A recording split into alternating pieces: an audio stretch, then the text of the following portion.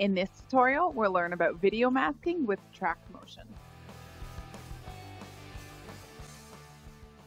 Once your clip has been added to the timeline, you can simply select Track Motion and then Mask Object. Now that the Track Motion dialog is open, I'm going to drag my scrubber to a section of the video where I can see the parachute in plain sight so I can outline it. In the menu on the right, I can select a shape to best highlight my object. So we'll select the circle shape and drag it over top of the parachute.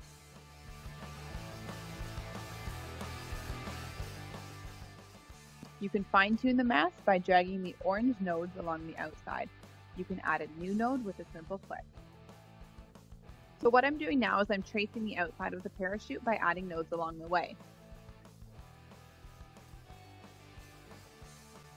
So we'll just speed through the next part as I outline the rest of this.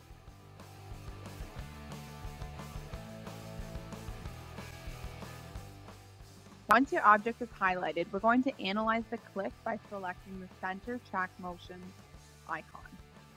This tracks the selected area backwards and forward from the current time point until it is no longer detected on screen. So now let's go back and check the tracking analysis by playing the video and spot checking a few points. As we move throughout the video, we'll see that the tracking moves along and it has identified the object as we go. So if we find a part in a video where a node has gone off track or it doesn't fully cover the selected area, we can simply find the first frame where it goes off track, readjust the nodes, and then we'll continue tracking forward.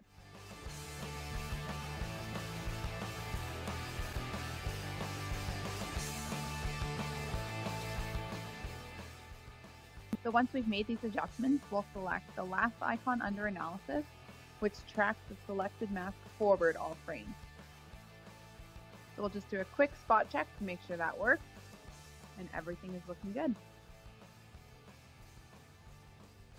So once you've reviewed the whole video and are happy with the mask, you can select OK, and it will export this into your timeline. So here we can see the mask has been added to the timeline, essentially as an extraction from the original video. So now the fun part. You can go in and you can add effects to either the mask layer or the background layer to really make this video your own and make your object stand out.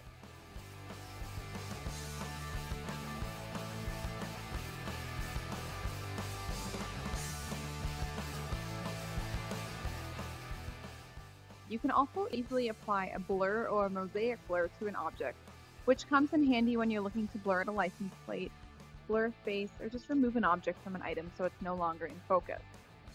So let's apply a name to the mask we previously created, and then select the icon to the right of it to create a new mask. We'll put a label on this as well. I'm just going to scrub backwards here so I can see the face of the little boy, of which we're going to blur out. In similar fashion, we'll select the circle icon and outline his face, readjust the nodes so that we're covering it.